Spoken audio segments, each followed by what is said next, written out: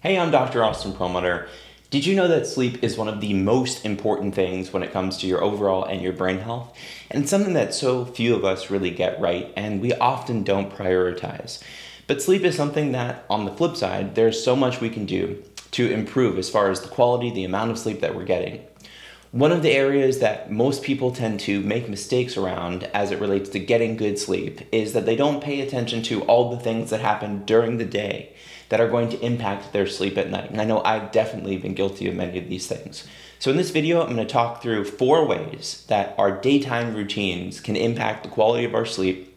And we'll talk about some practical steps that you can be putting into place to improve your daytime routine to get a better night's sleep.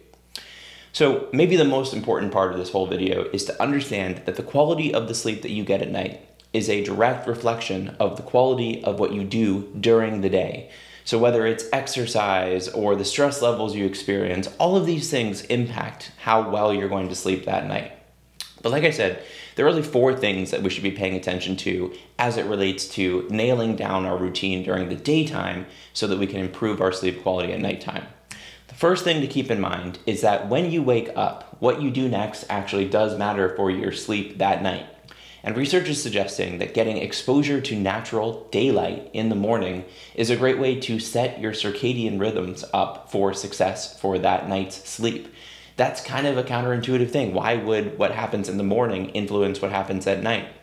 But our eyes contain receptors at the back of our eyes that speak directly to our brain and these receptors are super sensitive to certain wavelengths of light.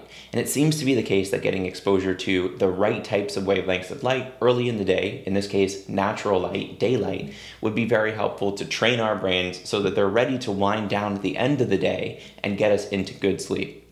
If you live somewhere that's further north, it may be the case that you're not getting as much of this natural light. It is the case that even if it's not that bright, it still does a lot of good for your brain, telling it that it's the morning.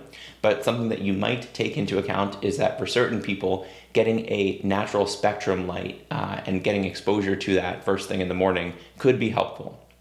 On the flip side of this, if you want more natural light and kind of brighter lights in the morning, what you want is less of intense light in the evening. And specifically, you want less artificial night light at night. So point one is more natural light in the morning. Point two is less artificial light at night. Research is indicating that blue light exposure in particular seems to throw off our body's production of the hormone melatonin. Melatonin is very important to getting good sleep. And there's a number of other reasons why we don't want too much exposure to artificial light at night. Uh, one of those is that the source of this artificial light at night tends to be our screens. Our screens tend to produce content that can be stressful and activating. So, point two here is to minimize artificial light at night and if you are getting exposure to artificial light at night, consider trying to uh, either decrease the brightness or potentially using something like a blue light blocking technology. But I think the more important thing to do is in the one to two hours before bed, try to limit your exposure to screens in particular. Point number three, and something that I think all of us would benefit from paying attention to, is paying attention to our caffeine exposure, especially afternoon.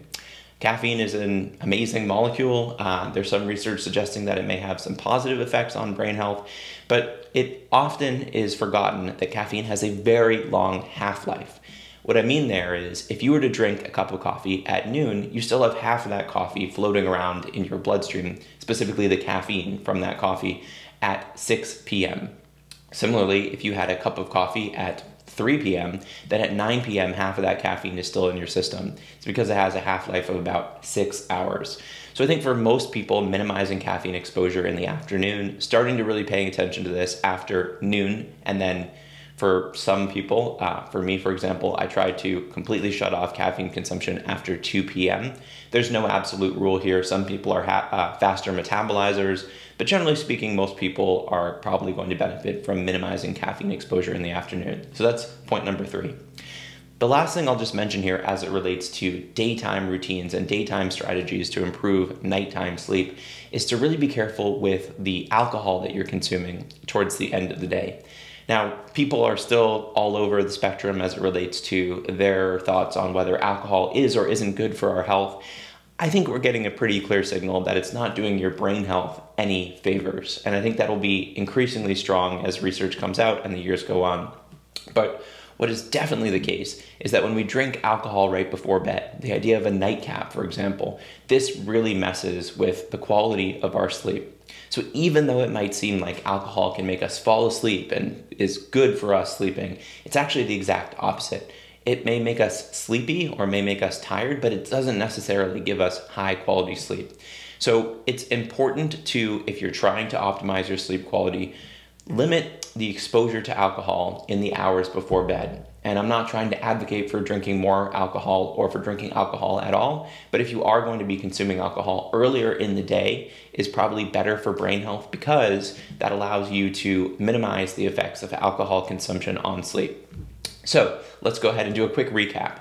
What I said at the start of this video is that the daytime routine is really important to the quality of our sleep. Sleep quality, really important to our overall and our brain health. And four things that all of us can do to help improve the quality of our daytime routine to optimize our sleep quality are number one, get more natural light in the morning. Number two, use less artificial light at night, especially blue light. Pay attention to your screen exposure. Three, minimize your caffeine exposure, specifically in the afternoon. And four is to be careful with, minimize your nighttime alcohol consumption, especially right before bed. I'm Dr. Austin Perlmutter. Thank you for joining. I'll talk to you next time.